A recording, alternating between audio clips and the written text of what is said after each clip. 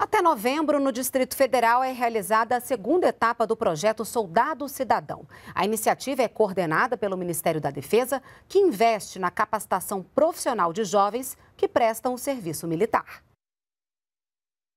A habilidade com as panelas e a intimidade com os temperos virou profissão bem-sucedida para Paulo Henrique. O gosto pelo ofício surgiu em 2006 no curso de gastronomia dentro do quartel da Marinha, no projeto Soldado Cidadão. Eu digo para todo mundo que a Marinha me deu uma profissão.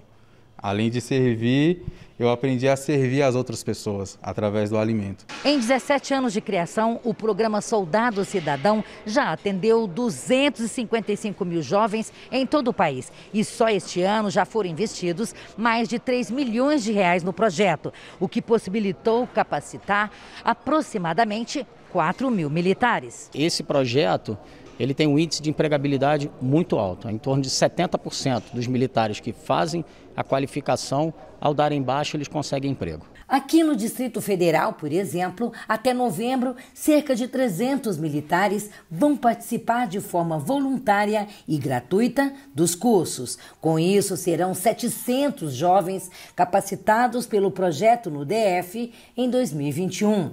O soldado cidadão do Ministério da Defesa conta com a parceria do Sistema S, Senai, Senac e Senat e institutos federais. Com isso, eles realizam cursos como agente administrativo e que isso aí será de grande importância para eles para futuramente poderem ingressar no mercado de trabalho pós servir a força. O instrutor de mecânica garante que aqui o aluno adquire bastante conhecimento para enfrentar o mercado de trabalho. Ele já sai aqui com a bagagem para que no momento que ele entrar no mercado de trabalho, essa, né, ele termine de ser lapidado e possa de fato se tornar um profissional completo. O recruta Augusto está no curso de hidráulica, já de olho no futuro ao deixar a farda. O curso, é, dos que eles disponibilizaram para a gente, acho que seria aquele que mais me beneficiaria aqui fora, tanto depois que eu sair do exército futuramente, quanto é, na vida paisana mesmo, normal em casa, se eu precisar arrumar alguma coisa.